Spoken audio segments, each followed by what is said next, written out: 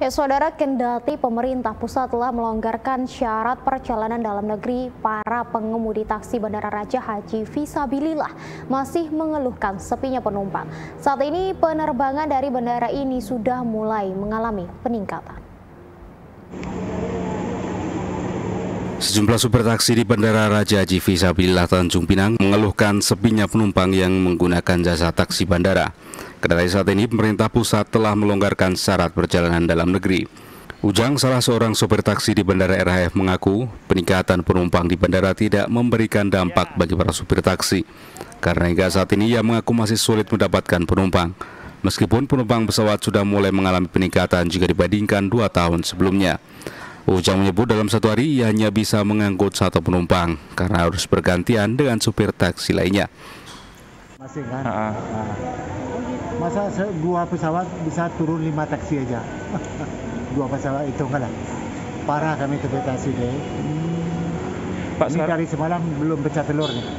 Belum dapat penumpang. Belum ada penumpang. Belum. Sama sekali ya. Belum ada naik taksi lagi. Pak, Berapa biji pesawat tiga semalam kan? Ya. Nah, belum lagi. Belum ada dapat. Nah, inilah saya nomor dua. Sebetulnya nomor tiga, yang nomor dua tak datang. Oh. Parah deh.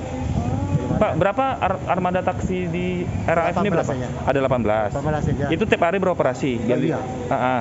Oh, itu pun tidak habis. Satu hari pun tidak dapat semua ya? Hal senada juga dirasakan oleh Kudun, seorang sopir taksi lainnya di Bandara RAF Tanjung Pinang.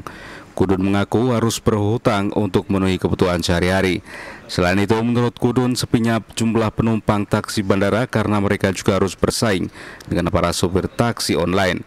Hal ini menyebabkan jumlah penumpang sejak pandemi hingga saat ini belum mengalami peningkatan. Sehari kadang sekali satu hari, kadang dua hari sekali. Kalau ramai penumpang ya dua, sehari dua hari sekali. Kalau sepi ya dua hari sekali dapat antrian sini.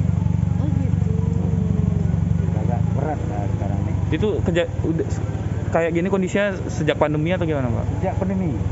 Sampai sekarang belum ada perubahan. Ah, belum ada perubahan. Pasal kita nih berlawan sama mobil online online masuk juga. Pasal kita kan nggak ada bisa online di sini. Seharusnya kan online ditutup. Uh.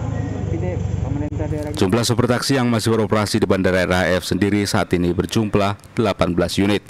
Kesemuanya secara bergiliran akan mengangkut penumpang dengan tarif yang telah ditetapkan dengan besaran minimal yakni Rp80.000. Dari Nugra melaporkan dari Tanjung Pinang.